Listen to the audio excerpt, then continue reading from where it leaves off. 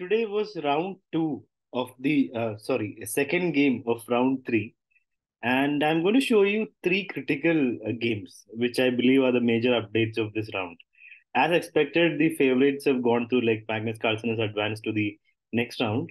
Uh, Peter Svidler had won the first game of the match against Jorden Van Foreest. In the second game, Peter Svidler almost had the draw. Like he has a very uh, endgame-ish position, which very few pieces. And here Peter played f6, reacting to the check. The correct uh, move would have been king g8, which would have kept things in the balance. The problem with f6 is now Jorden played the correct continuation. Knight d6, activating the knight, knight e5, and now f4. Knight moves and e5. The king becomes open, so knight takes knight, pawn takes, and now the d pawn is too strong. Rook f7 and h3. Before uh, getting his rooks into the seventh rank, first he makes space for the king and uh, prepares g4 for later. Pawn a5. So black tries to exchange of pawns, create a pass pawn here. And here, Jorden just ignores that, just plays rook d1, preparing to push the pawn even further. Right? And now queen d7, and here takes, takes, and king h2, getting out of the back rank. And here rook comes up. So doubling the rook. So the play is very simple for for Jorden Van Foreest. It is still around equal though. Like just it's an advantage, slight advantage for white, but black is still doing fine. Rook b7 still fine, and here rook came in, queen c6, and rook rook had to jump in. I mean, rook uh, jumped in. That was going to happen. So black had to react to it. So how does he react? He goes rook d7, which is also the correct response. So takes, takes, and now rook d1 keeping the queen stuck here. If the queen moves, then d7 and the white wins. So it's a very nice move, rook d1. And this is where Peter uh, collapsed. He had to make waiting moves basically, which is very difficult. h5, queen d5, h4, and then push the pawns. The problem is uh, here black cannot move the rook anyway. It's zugzwang. Black cannot move the queen also anyway. I mean, Peter must have thought rook can move. Queen is stuck, rook can move, right? So he, played rook f8, but now the white rook just jumps in. So what was the correct continuation? I'm curious actually. After h5, what if white just waits? How much longer can you make pawn moves or king moves for that matter? Probably king move, the rook will jump in. So king move also is not possible. So it's almost complete zugzwang. So what if I go queen d4? What are you going to do? How is it not winning? The engine just says a uh, queen d8 or king h8 or b4. b4 giving up the pawn. Wow. So the queen gets freed and now rook comes to d7. Some kind of defense, but uh, this is also losing. I mean, tough uh, to win this. I mean, tough to win this as well, but but let's go back. What else is the engine saying? Instead of b4, what if queen d8? Yeah, this seems like the most uh, uh, logical defense. But then still, it's it's a good position for white. So it's already tough. But what Peter did, rook f8, made it easier for white because now Jorden plays uh, rook c1 and now rook c7 is the threat. Rook f7 back, but just rook c7 anyway. Queen moves and just queen a7 here. Peter Svidler resigned so now the match is going to tie breaks. Tomorrow we're going to have the tie breaks to decide who is going to round four.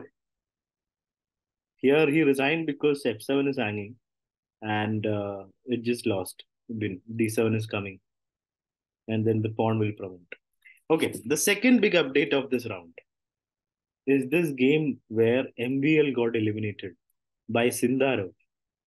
Sindarov in the Global Chess League uh, got checkmated in one move like at the end by Jonas. Right? Here, Sindarov was a very strong player. And here, if you see the position, it was a crazy opening. You can go through the game uh, yourself. So basically, uh, MVL had sacrificed an exchange for uh, when sacrificed an exchange, but now he has got uh, sorry, sorry, here he has sacrificed an exchange. It's a knight for a rook, but he has got two extra pawns as well. And here MVL played knight takes, which is apparently a mistake. So it's so difficult to see what is the right move here. Apparently, you have to develop a piece. Bishop d2 or bishop f4. is the correct response. So knight takes queen. He, the problem with knight takes is Sindarov played a brilliant move here. He didn't take back. That's not the problem. He plays rook takes a6. A beautiful move because if rook takes rook, then queen takes, and when king moves, it's mate. Back rank mate.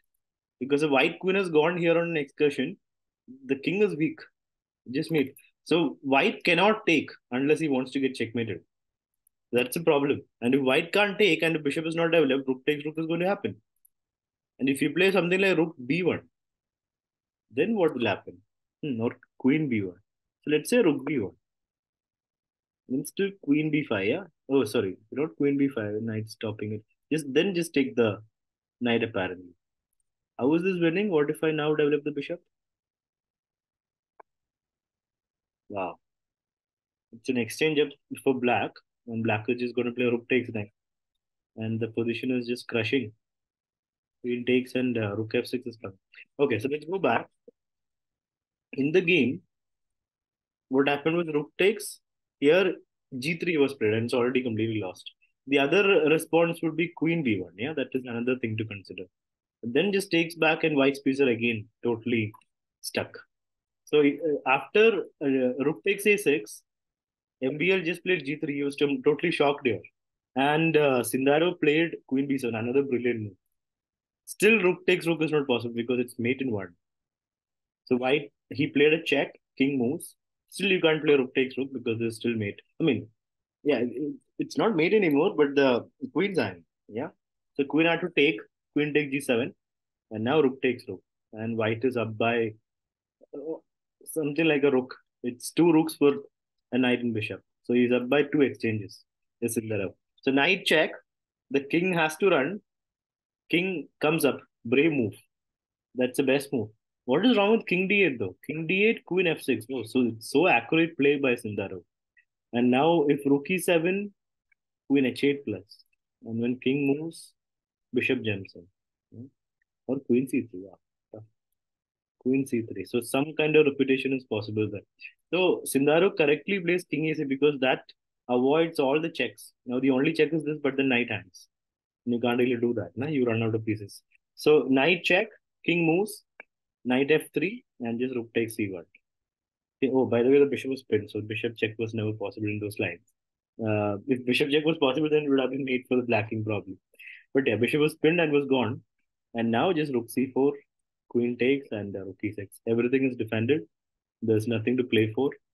It's a lot of material extra. So that's how MVL got knocked out of the World Cup and um, Maxime drew the first game, lost in the second game.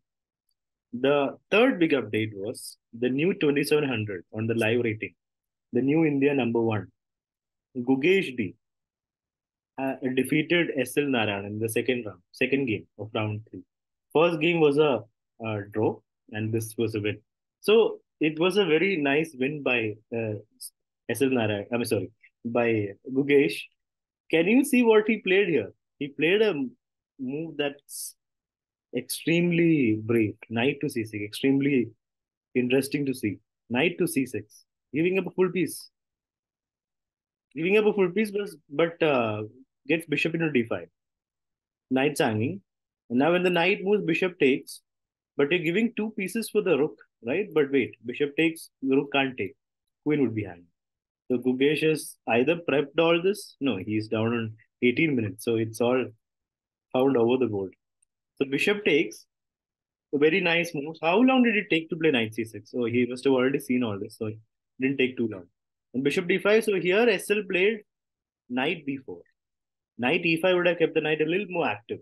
So knight b4 and now takes, queen has to move. And now the rook is attacking the queen and then the bishop comes back. So basically, Gukesh won an exchange by doing knight c6 move. A very complicated move, a very deep move. Uh, a GM kind of, like super GM move. And uh, he just went on to convert this. Takes, takes, queen takes, bishop e3. It, it's just an exchange up. plays rook c5, just centralizes all the pieces. And here, Wildy, okay, black just took the queen, uh, took the pawn, allowing the exchange of queens. And white just uh, played rook c8. And here SL resigned you lose a piece here. Yeah? So Gukesh, with that one move, knight c6, just uh, turned the whole position into completely winning. So those are the main updates of the uh, third round of the World Cup. And tomorrow we are going to see the tie breaks in some of the, in a lot of the matches actually.